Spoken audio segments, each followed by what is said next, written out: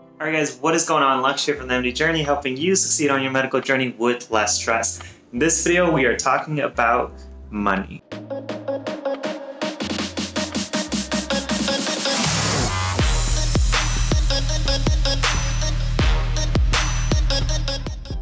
Alright, so in this video, I'm going to be super quick. I have to go to work soon at the Student Center today, and I have about six minutes to record this video, so I'm to try to give you the content um, while uh, keeping it short. So today's topic is super important and it's something that med students, pre-meds do not understand, which is not only managing your money, we'll talk about that too, but kind of what to do with your money, uh, how to plan accordingly, one, when you're in debt, right now, or this is why I can only show you a quarter um, on this video, or how you start to manage your money when you do start making income and making sure you don't make stupid decisions with it. So the first thing is you have to understand debt. And by that I mean understand that the average med student here in the United States at least graduates with about $170,000 in debt. That's after finishing medical school. That doesn't count any interest you accrue during your years of residency. So if you're a neurosurgeon, I'm sorry, you're going to be more than $170,000 in debt. Um, and if you live in a very expensive uh, city, or if you go to a much more expensive school, that price range starts to get to, you know, the high 200s, 300,000 just after finishing med school, which is crazy to think of itself. And people start to tell themselves, you know, I- will make that money later, it'll be okay. One thing that uh, I was taught that's really stuck with me is imagine this. Every dollar that you borrow in med school, you basically assume that you have to pay $2 back. So every time I buy something, whether it's cheap or expensive, I ask myself, is it worth twice the money? So if I'm buying like a coffee and I'm going out because uh, I feel like I really want a pumpkin spice latte, it's fall, I ask myself, is it worth 10 bucks? Right now it's about like four, right? And the answer is usually no. So that helps me get away from that because I don't want my future self to be paying 10 bucks for the latte that I borrowed now.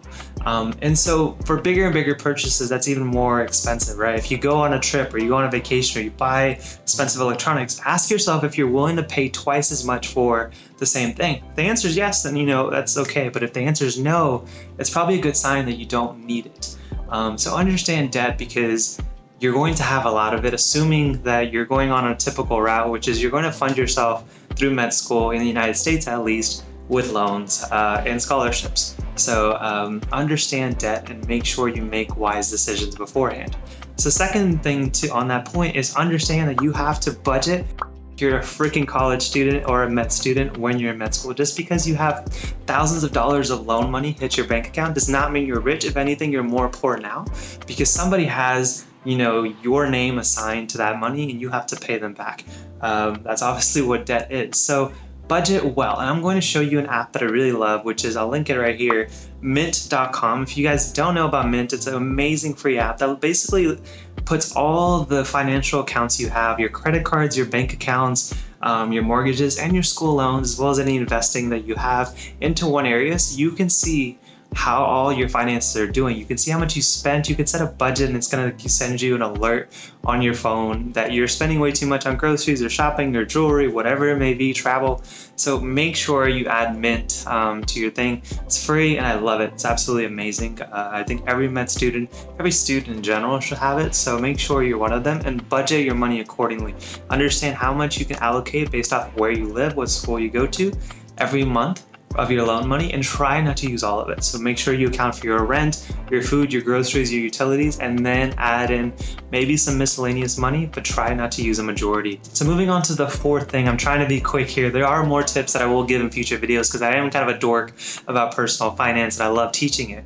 The, fourth, the third thing is you need to understand credit, and this means your credit score. In the United States, um, most people, for example, in residency will probably rent maybe they may buy a home, but if you haven't developed a credit, you're going to get a crappy interest rate, uh, which may not mean a lot to you right now, but when you buy a, you know, a $200,000, $300,000 home, your interest rate can be significant, but just a few points here and there can save you uh, a lot of money. And the way you save yourself a lot of money is you have to put in the hard work now.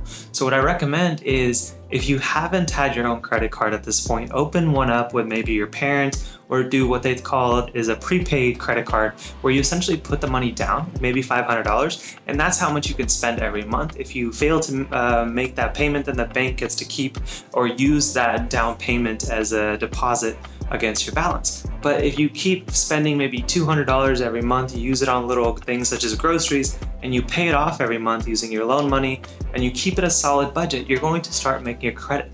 Banks are going to see that you are reliable with your money and you're not spending an excessive amount. So credit score is huge and you can start at this point. You can, if you're a college student watching this, you can start then, open up a prepaid card, ask your parents if they can make you an authorized user on their cards, assuming that they trust you.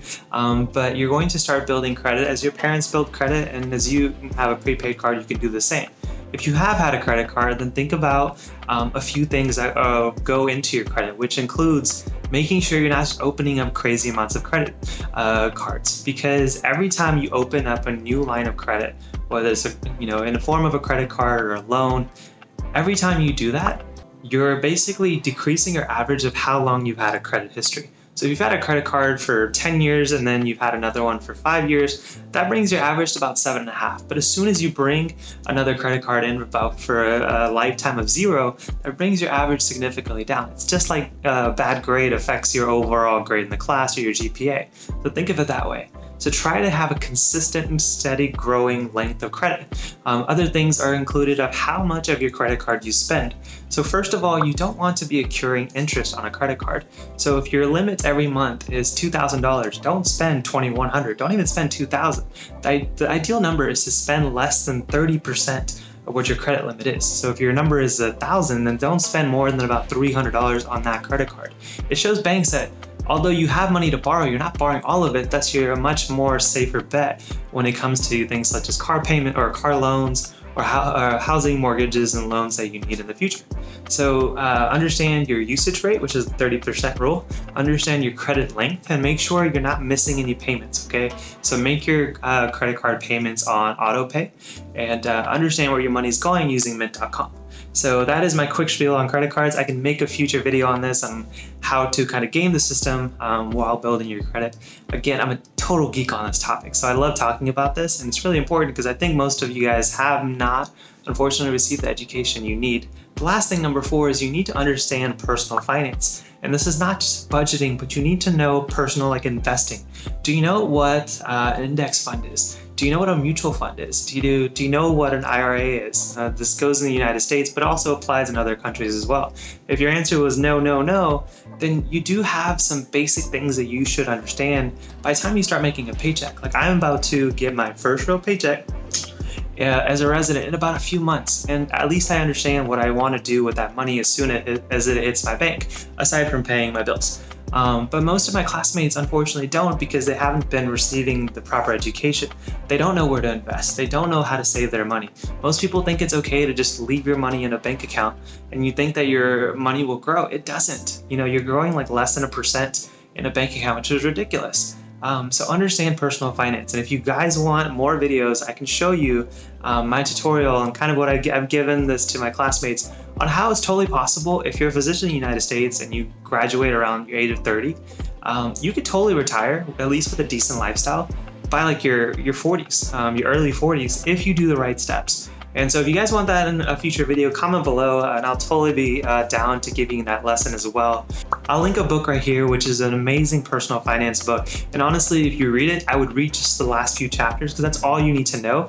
If you think investing is uh, complicated, you can. This book will show you that you can just automate it to where every time you get an income, your money goes into a nice safe uh, investment and you're just starting to grow your income. I started doing this, guys, when I was in college, and the amount of money that's grown throughout that period has been kind of ridiculous. Um, and it's been out of no effort after you know the initial setup, which probably takes about an hour. So if you can make the uh, the investment to read the book, which probably takes you a few days, it's really short by the way, so that means you're reading really slow. Um, but if you can take the investment to read the book, to continue to educate yourself, and then um, do what they show you without getting too crazy, Using the other tips in this video, you will set yourself up nicely. You'll have enough money, you'll know what to do with it when you get it, and you don't need to hire professionals um, to manage it for you because you've, you've learned the basics. That's really what you need to know at this point. So again, I was trying to be quick because I got to go to work, uh, but hopefully this video is helpful. Money is something that's really important, but unfortunately we're not taught about uh, enough. So if you like this video, even though it's a basic overview and you want some more detail, comment below, like this video at least, subscribe to the channel and join the community. I'm to stop babbling. I will see you guys in the next one. Take care, guys.